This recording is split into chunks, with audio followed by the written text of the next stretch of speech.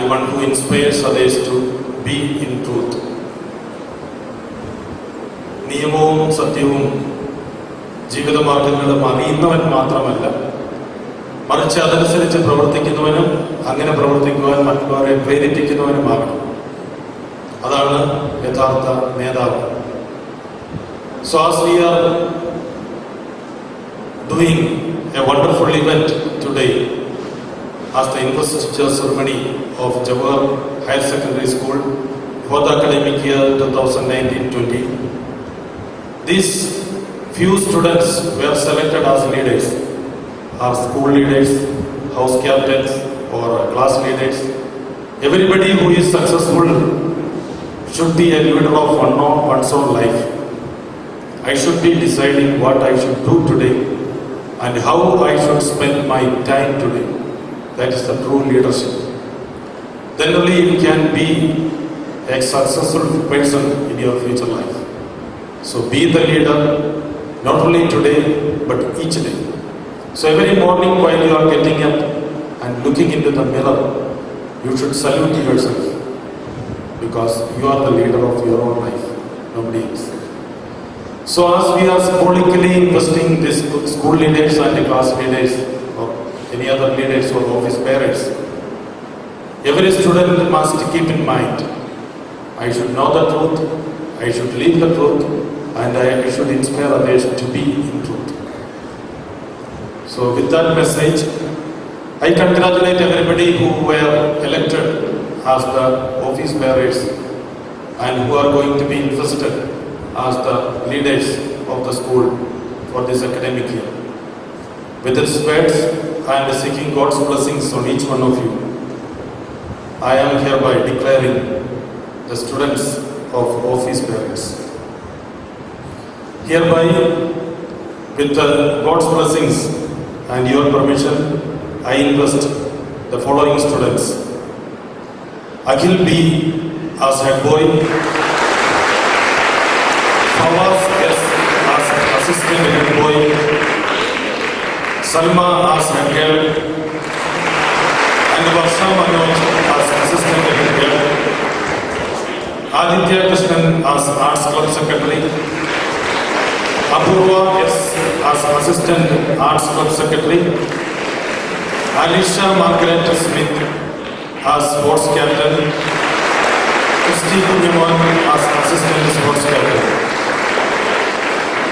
I also declare the house captains and the house vice captains. Brahmaputra House, Mohammad Adam as captain and Amra S as vice captain. Ganges House, Mufid Ibrahim as captain and Avati Yaskur as vice captain. Indus House, Nabil Narshad as captain, Saukini Sunil as vice captain. Yamuna House, Arjun S as captain and Abhiravi S as vice captain. Once again, wishing you a wonderful academic year under these wonderful leaders. I conclude. Thank you. God bless you. God bless Jawar School.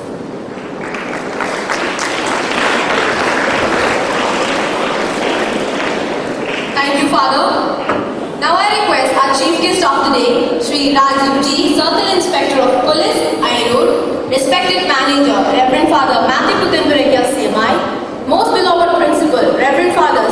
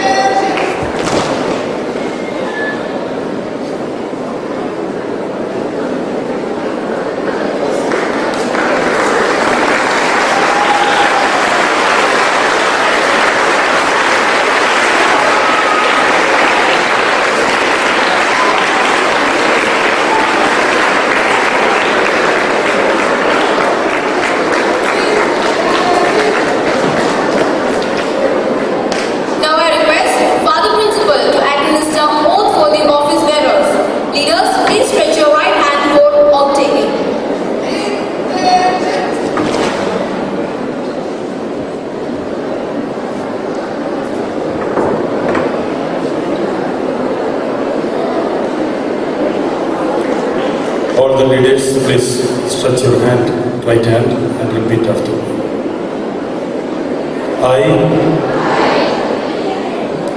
do hereby solemnly promise that I will most truly and loyally observe and obey the rules and regulations of the school.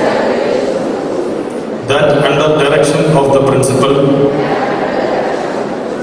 and other teachers, I shall participate in every school activity most sincerely and wholeheartedly. And that I shall display exemplary behavior and be just and fair in the discharge of my duties to my fellow students and the juniors alike. Thank you.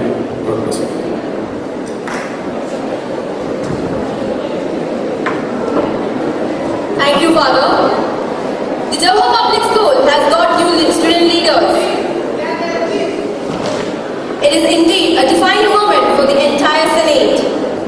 É isso aí.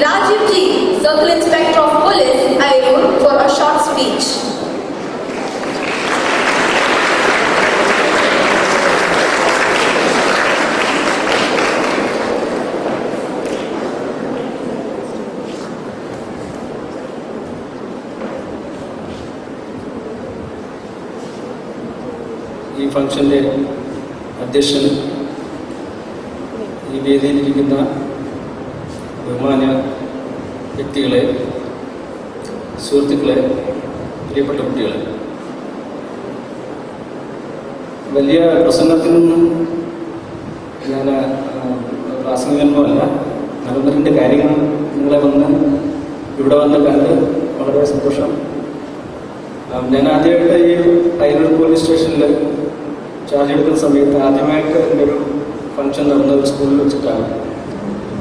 അതിന് ഞാൻ വളരെ ഒരു സന്തോഷപൂർവമാണ് സ്വീകരിച്ചത് കാരണം നമ്മുടെ കുട്ടികളാണ് ഭാവിയുടെ വാഗ്ദാനങ്ങൾ.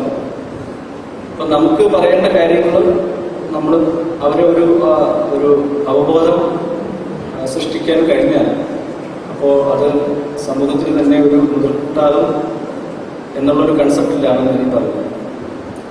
ഇവിടെ ഞാൻ ഒന്ന് രണ്ട് വാക്കുകൾ നിയമപരമായിട്ടുള്ള ഒന്ന് രണ്ട് കുട്ടികളെ സംബന്ധിച്ചിടത്തോളം ഒന്ന് രണ്ട് കാര്യങ്ങൾ സൂചിപ്പിക്കുക മാത്രമേ ചെയ്യുന്നുള്ളൂ. വലിയ പ്രസംഗത്തിനൊന്നും മുതിരുന്നില്ല. ആദ്യമായിട്ട് എന്നെ ഈ ഫംഗ്ഷന് ക്ഷണിച്ച ഇതിന്റെ പിന്നിൽ ഉള്ള എല്ലാ സ്കൂളിന്റെ പിന്നിൽ പ്രവർത്തിക്കുന്ന ആ, മാനേജർ അച്ഛനും ബാക്കി അധ്യാപകർക്കും എല്ലാവർക്കും എന്റെ നന്ദിയും കടപ്പാടും അറിയിച്ചുള്ളത്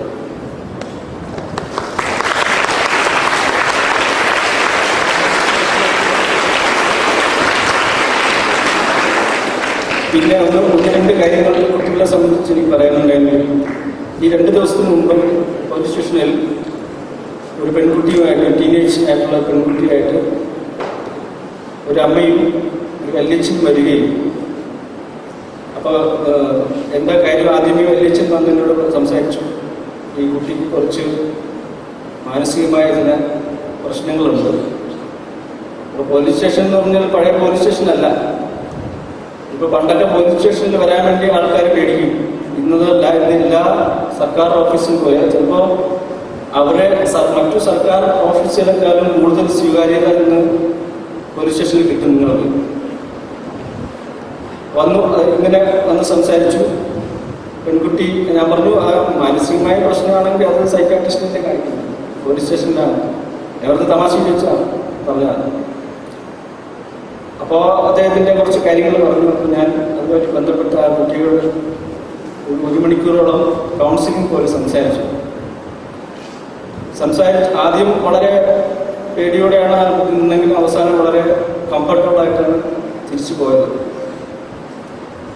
അപ്പോൾ കുറച്ച് കാര്യങ്ങൾ ഞാൻ കുട്ടിയിൽ നിന്ന് കുറച്ച് കാര്യങ്ങൾ മനസ്സിലാക്കിയത്. ഈ സമൂഹത്തിന്റെ ഇപ്പോൾ സോഷ്യൽ മെഡിസിൻ എന്ന് പറയാവുന്ന പല കാര്യങ്ങളും ടച്ച് ചെയ്ത് പോയി പല കാര്യങ്ങളും. എല്ലാം ഞാനിവിടെ ഉച്ചരിക്കുന്നില്ല അപ്പോൾ അതിനകത്ത് ഞാൻ മനസ്സിലാക്കിയ കുറച്ച് കാര്യങ്ങൾ നിങ്ങളോട് പറയാം. ഇന്നത്തെ സമൂഹം എന്ന് പറഞ്ഞു കഴിഞ്ഞാൽ നമുക്ക് ശരി തെറ്റുകളുടെ പണ്ടും അങ്ങനെയായിരുന്നു. പക്ഷെ ഇന്ന് നമുക്ക് പോസിറ്റീവ് സാധ്യതകൾ കൂടുതലാണ്. നമ്മൾ എന്ത് തിരഞ്ഞെടുക്കണം എന്നുള്ളതാണ്. ശരിയാണോ തെറ്റാണോ തിരഞ്ഞെടുക്കുന്നുള്ളതാണ് അപ്പം ചെറിയ കുട്ടികളാണെങ്കിൽ അവർ തെറ്റിലേക്ക് വഴുതിപ്പോവാൻ സാധ്യത കൂടുതലാണ്. അപ്പോൾ അത് അങ്ങനെ നിങ്ങൾ നിങ്ങളുടെ ശരീരത്തെ സംബന്ധിച്ചായാലും ശരി നിങ്ങളെ മനസ്സിനെ സംബന്ധിച്ചായാലും ശരി അങ്ങനെ എന്തെങ്കിലും ഹർട്ട് എന്തെങ്കിലും ഉപദ്രവം ആരിൽ നിന്നുണ്ടായാലും നിങ്ങളുടെ ബന്ധുക്കൾ അടുത്ത ബന്ധുക്കളാണോ ചിലപ്പോൾ സുഹൃത്തുക്കളാവാം അല്ലെങ്കിൽ അപരിചിതരാവാം സ്റ്റേജസ് ആവാം എങ്ങനെയുണ്ട്? അങ്ങനെയുള്ള ഒരു ഉപദ്രവം നിങ്ങൾ കൊച്ചു കുട്ടികളോട് പറയാനിരിക്കാതേ ഉള്ളൂ. നേരിടുകയാണെങ്കിൽ നിങ്ങൾ ദൈവം ചെയ്ത് നിങ്ങളെ മാതാപിതാക്കളെ അറിയിക്കണം. അത് എന്ത് വിധത്തിലുള്ള ചെറുതോ വലുതോ ആയിക്കോട്ടുള്ള വലുതോ ആയിട്ടുള്ള ആ, ഉപദ്രവം ആയിക്കോട്ടെ അല്ലെങ്കിൽ ഈ അബ്യൂസിങ് വേർഡ്സ് ആയിക്കോട്ടെ എന്തോ ആയിക്കോട്ടെ. നിങ്ങൾ നിങ്ങൾ മാതാപിതാക്കളെ അറിയിക്കുകയും അങ്ങനെയുള്ള സാഹചര്യം ഇല്ലെങ്കിൽ നിങ്ങൾ അധ്യാപകരെ അറിയിക്കുകയും അതിന് നിങ്ങൾ നോ എന്നുള്ള കൺസെപ്റ്റിൽ മുന്നോട്ട് പോകാവും പലരും ഈ കുട്ടികളൊന്ന് പറഞ്ഞ പറയുന്ന എന്ന് പറഞ്ഞ് പേടിച്ചിട്ട് ഞാൻ പുറത്ത് പറഞ്ഞില്ല എന്നുള്ള രീതിയിലാണ് പല ആൾക്കാരും പിന്നീട് പറയുന്നത്. പിന്നീട് നമ്മൾ ആദ്യമേ നോ പറഞ്ഞു കഴിഞ്ഞാൽ ആ രീതിയിൽ നമുക്ക് അതിനെ പ്രിവെന്റ് ചെയ്യാൻ പറ്റും. നമ്മൾ പേടിച്ചിട്ട് കാരണം പറയാതിരുന്നെങ്കിൽ അവസാനം കൂടുതൽ കൂടുതൽ കൂടുതൽ കുഴപ്പത്തിലേക്ക് പൊയ്ക്കൊണ്ടിരിക്കും. അപ്പം നിങ്ങളെ ശരീരത്തെ സംബന്ധിക്കുന്ന വിഷയങ്ങളിൽ നിങ്ങൾക്ക് ചെറിയ കുട്ടികളാണ് നിങ്ങൾ തീർച്ചയായും മനസ്സിലാക്കാം. ഇന്ന് ഒരുപാട് സ്ത്രീകൾക്കും കുട്ടികൾക്കും അനുകൂലമായിട്ട് ഒരുപാട് നിയമ സംഹിതകളുണ്ട് നിയമങ്ങളുണ്ട്. പക്ഷെ ആ നിയമങ്ങൾ കറക്റ്റായിട്ട് രീതിയിൽ പരിപാലിക്കണമെങ്കിൽ ആ നിയമത്തിന്റെ സംരക്ഷണം നിങ്ങൾക്ക് കിട്ടണമെങ്കിൽ ഈ നിങ്ങൾക്കെതിരെയുള്ള വരുന്ന അക്രമങ്ങൾ നിങ്ങൾ പോലീസിന്റെ ശ്രദ്ധയിൽപ്പെടുത്തണം അല്ലെങ്കിൽ സമൂഹത്തിന്റെ ശ്രദ്ധയിൽപ്പെടുത്തണം എന്നാൽ മാത്രമേ ആ പ്രൊട്ടക്ഷൻ കിട്ടുള്ളൂ. എന്നാലേ നമുക്ക് കൂടുതലായിട്ട് അതിനെ തടയാനുള്ള നടപടികൾ സ്വീകരിക്കാൻ പറ്റൂ. ഇതൊന്നും. രണ്ടാമത്തെ കാര്യം ഇപ്പോഴത്തെ പുതിയ തലമുറയിൽ എന്താണ് വളരെ പഠനം പിടിച്ചുകൊണ്ടിരിക്കുന്ന ഒരു കാര്യമാണ് ട്രക്ക് അബ്യൂസ് ഡ്രഗ്സ് ഡ്രഗ്സ് എന്തോ ആയിക്കോട്ടെ. അത് നമ്മൾ ഇങ്ങോട്ട് ഈ പുകവലി മുതൽ അങ്ങ് മറ്റു മയക്കുമരുന്നുകളൊന്നും കേട്ടിട്ടില്ല പല പേരിലും. അങ്ങനെയുള്ള കാര്യങ്ങൾ ഇപ്പം വളരെ വലിയ തോതിലാണ് കുട്ടികൾക്കിടയിൽ വരെ അത് പ്രചരിച്ചുകൊണ്ടിരിക്കുകയാണ്. അതൊരു വാസ്തവമാണ് സത്യമാണ്. അപ്പം നിങ്ങൾ ഒരു കാര്യം മനസ്സിലാക്കണം. ഡ്രഗ്സ് അല്ലെങ്കിൽ പുകയിലെ ജന്യമായ സാധനങ്ങൾ അവയുടെയൊക്കെ നോ നിങ്ങൾ ആദ്യമേ പറയണം. നിങ്ങൾ ബന്ധുക്കൾ ഇപ്പം ലീഡേഴ്സ് അവിടെ നിൽക്കുന്നത് എന്റെ മുന്നിൽ. അവർ സ്വയം അതിനെക്കുറിച്ചുള്ള അവബോധം ഉണ്ടായിരിക്കണം.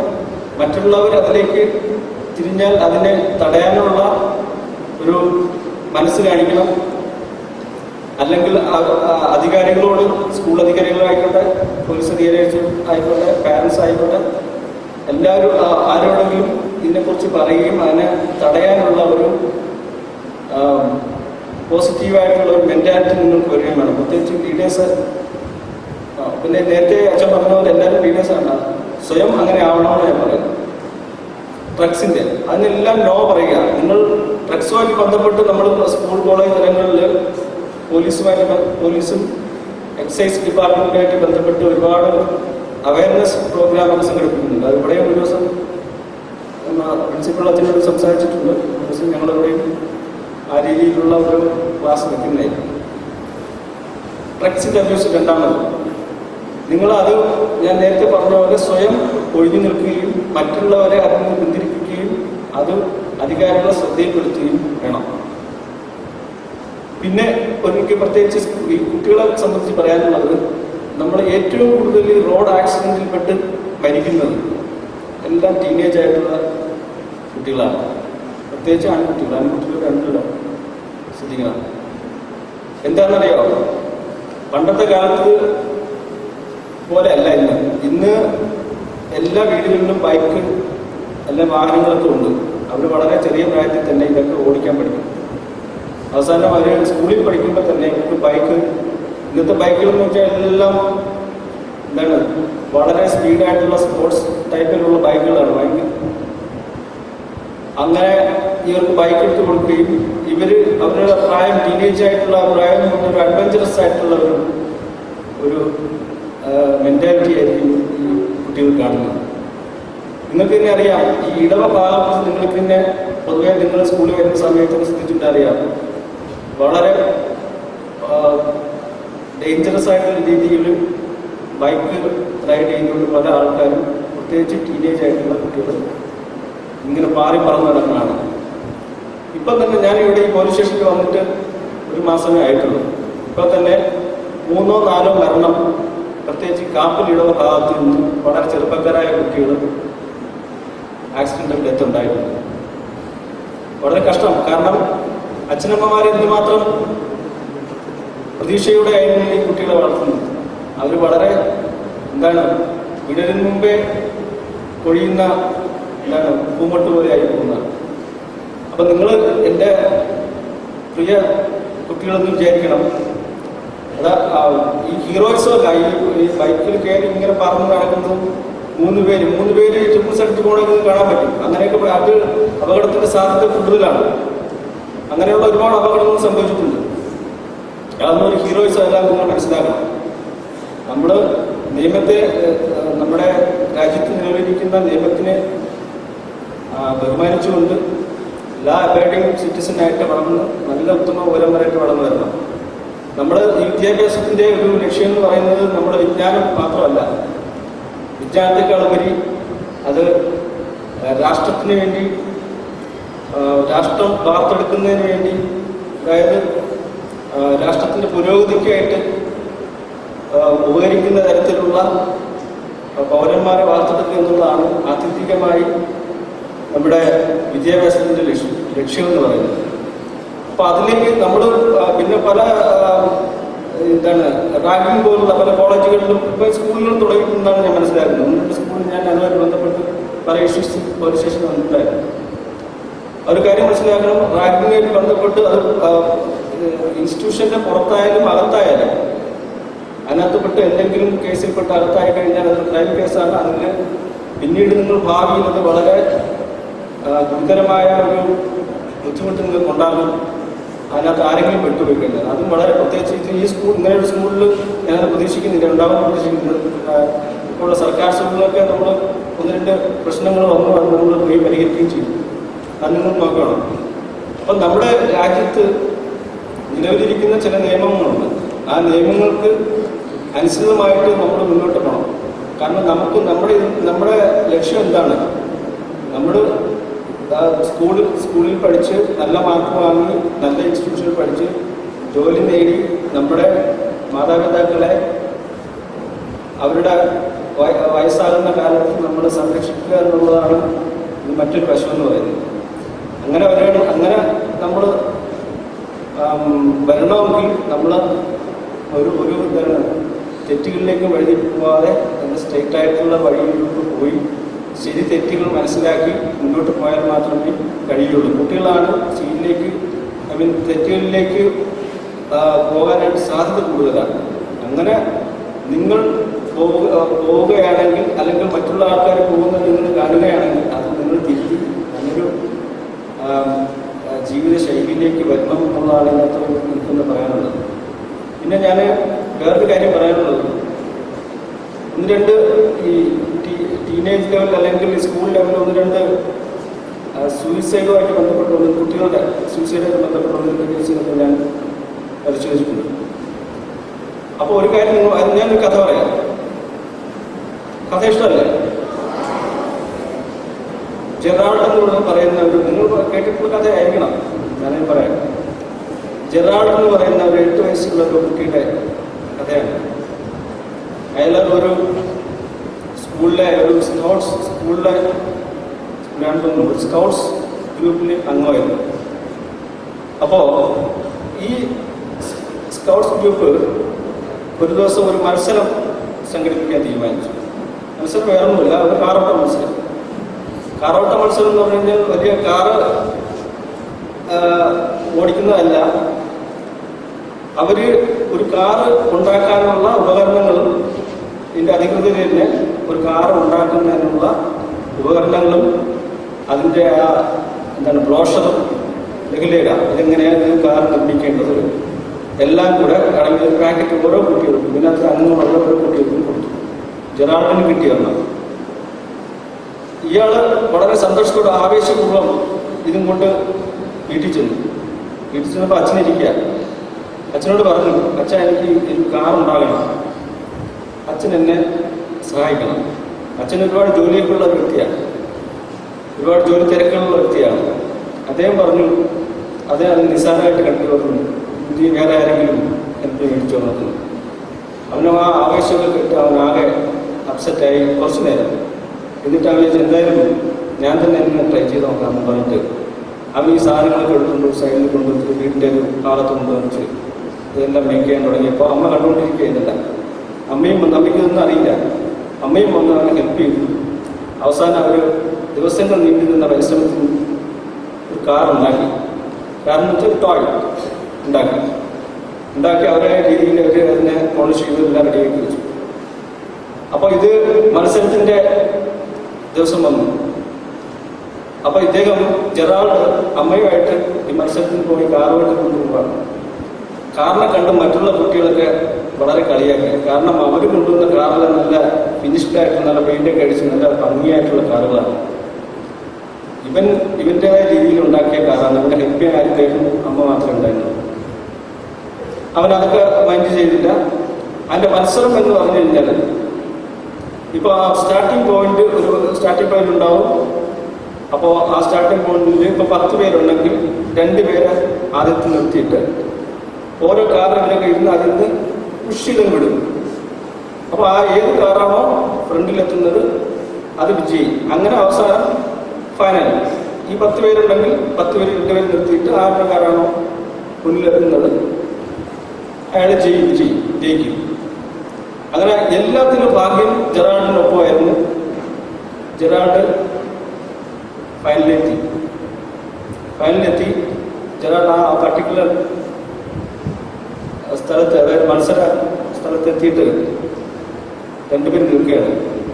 മത്സരം തുടങ്ങുന്നതിന് മുമ്പ് ജെറാൾഡ് പറഞ്ഞു റഫറിയോട് പറഞ്ഞു കളി നിയന്ത്രിക്കുന്ന ഗെയിം നിയന്ത്രിക്കുന്ന റഫറിയോട് പറഞ്ഞു.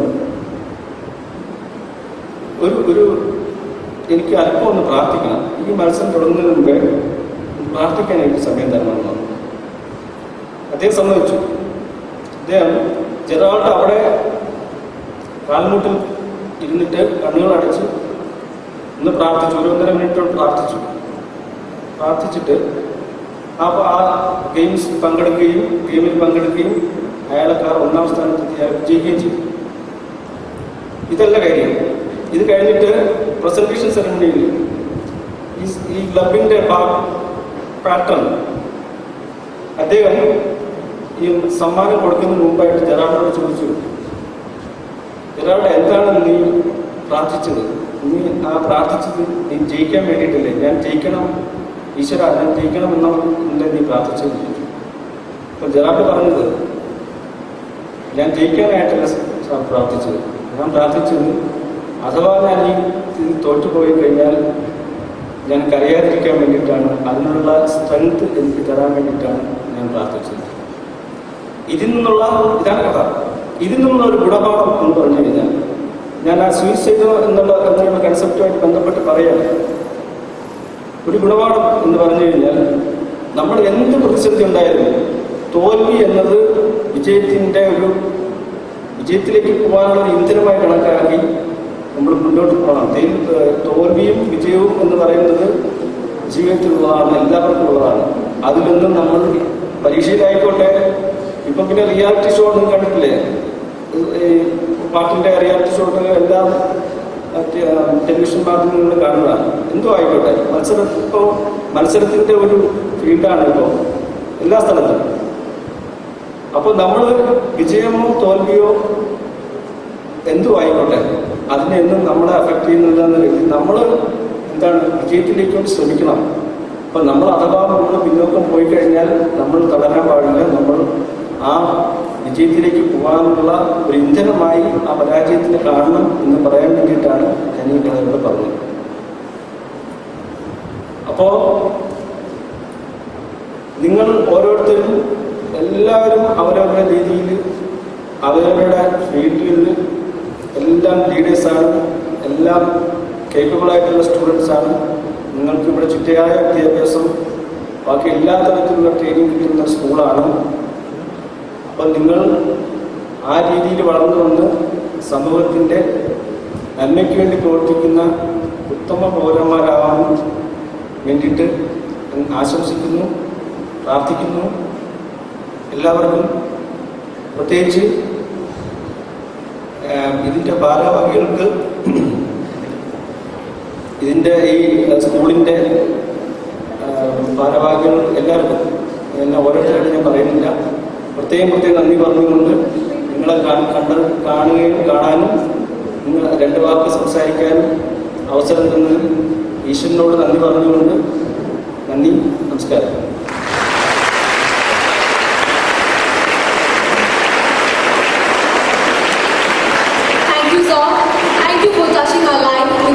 Advice. To express our love and gratitude, I request our manager father to present a memento to the chief guest of the day.